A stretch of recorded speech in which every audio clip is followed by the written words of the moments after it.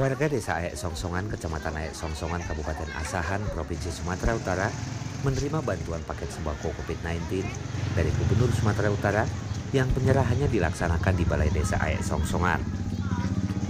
Penyerahan bantuan yang disaksikan Porkopimcam Kecamatan Aek Songsongan, Kepala Desa, Aparat Desa, Kepala Dusun, Babinsa dan Babinmas desa setempat berlangsung lancar. Total paket sembako yang dibagikan berjumlah 299 paket yang masing-masing paket berisi 10 kg beras, 2 kg gula pasir, 2 kg minyak goreng, dan 10 bungkus mie instan. Selamat siang. Uh, kami lihat di sini ada pembagian paket COVID-19. Ini paket dari mana nih Pak? Itu bantuan Bapak Gubernur Sumut Edi Ramayadi, Provinsi Sumatera Utara. Ada berapa paket Pak yang dibagikan? 299 paket untuk desa Kusuma.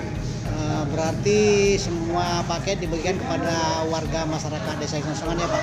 Betul, betul. betul. Uh, sebelum ini apa ada Pak? Pembagian-pembagian yang lain tentang masalah COVID-19?